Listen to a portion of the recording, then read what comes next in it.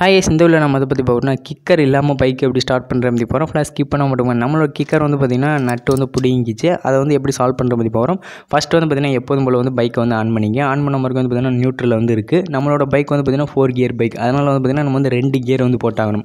இப்போ வந்து பார்த்திங்கன்னா நான் வந்து ஃபஸ்ட்டு கியரை வந்து போட்டுக்கிறேன். ஃபஸ்ட்டு கியரை வந்து போட்டுக்கிறேன். கொஞ்சம் மூவ் பண்ணிட்டு செகண்ட் கியர் வந்து நான் வந்து போட்டுக்கிறேன். செகண்ட் கியர் வந்து நான் வந்து போட்டுக்கிறேன். கொஞ்சம் மூவ் பண்ணிட்டு இப்போ வந்து பார்த்திங்கன்னா நம்ம வந்து ரெண்டு கியரும் போட்டாச்சு. ஃபஸ்ட்டு கியரும் செகண்ட் கியரும் நம்ம வந்து போட்டாச்சு. ரெண்டாவது கியரில் வந்து இப்போ வந்து வண்டி இருக்குது இப்போ வந்து பார்த்திங்கன்னா சென்டர் ஸ்டாண்ட் வந்து போட்டுங்க. உங்கள் பைக்கில் வந்து சென்டர் ஸ்டாண்ட் வந்து போட்டுங்க. சென்டர் ஸ்டாண்ட் போட்டு கரெக்டாக வந்து ரொம்ப ஈஸியாக வந்து பார்த்திங்கன்னா நீங்கள் வந்து ஸ்டார்ட் பண்ணிக்கலாம்.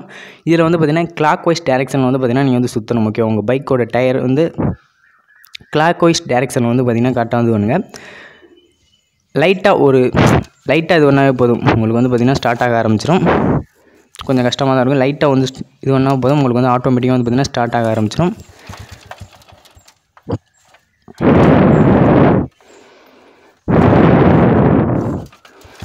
நம்மளுக்கு வந்து பார்த்திங்கன்னா பைக் வந்து ஸ்டார்ட் ஆகிடுச்சு இப்போ வந்து என்ன பண்ணுறீங்கன்னா நீங்கள் வந்து கிளச்சை வந்து பிடிக்கவே கூடாது. இப்போ வந்து பார்த்திங்கன்னா ரெண்டு கியரையும் வந்து நீங்கள் வந்து கம்மி பண்ணிடுங்க ஓகேவா கம்மி பண்ணிட்டு நியூட்ரலில் வந்து பண்ணிடுங்க இப்போ வந்து பார்த்திங்கன்னா நம்மளுக்கு வந்து நியூட்ரலில் வந்து இருக்குது இப்போ வந்து பார்த்திங்கன்னா பைக் வந்து ஸ்டார்ட்டில் தான் இருக்குது ரொம்ப ஈஸியாக வந்து பார்த்திங்கன்னா நீங்கள் இது மாதிரி வந்து ஸ்டார்ட் பண்ணி யூஸ் பண்ணிக்க முடியும். இந்த வீடியோ பிடிச்சா லைக் பண்ண பிடிக்க டிஸ்லைக் பண்ணுங்க. ஏதாச்சும் சந்தேகம் என்ன பண்ணுங்கள் தேங்க்ஸ் ஃபார் வாட்சிங் சேனல் பை எஸ்